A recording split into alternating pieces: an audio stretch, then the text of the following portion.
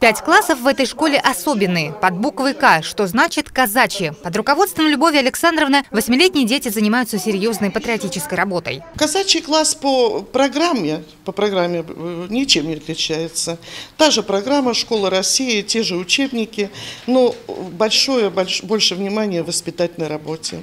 Это патриотическое воспитание. Мы ходим в храм, то есть дети все пришли уже осознанно, что они православные, и их родители тоже.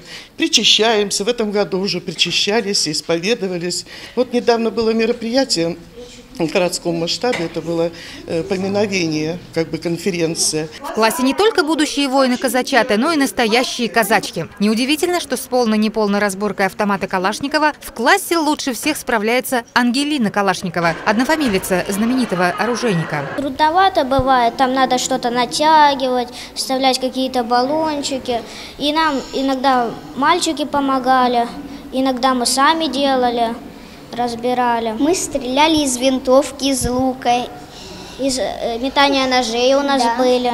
Краевому месячнику оборонно-массовой и военно-патриотической работы казачата относятся серьезно. Пишут сочинения о родине, готовятся к спартакиаде по десяти видам спорта, которая пройдет в станице Гастагаевской. Учат казачьи песни. Пазовый